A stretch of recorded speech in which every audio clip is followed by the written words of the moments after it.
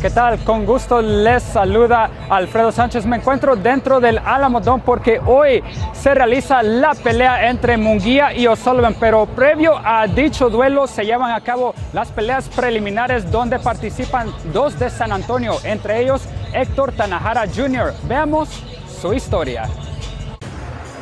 Conocido dentro del boxeo como El Finito, Héctor Tanahara Jr. comenzó su carrera como pugilista en el 2007 ganando ocho campeonatos mundiales a nivel amateur.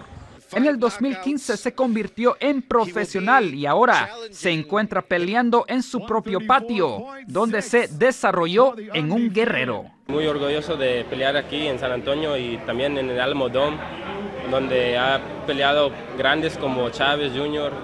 Tanahara reconoce su ventaja siendo el local, brindando altas expectativas de no decepcionar a su gente sin embargo, para Héctor, esto es otro día en la oficina. Me siento motivado, um, pues aquí estoy en casa con toda mis, mi, familia y mis amigos, más motivado. Tanahara se encuentra invicto con 18 triunfos buscando defender su título de peso ligero en una pelea de 10 rondas ante Juan Carlos Burgos de Tijuana.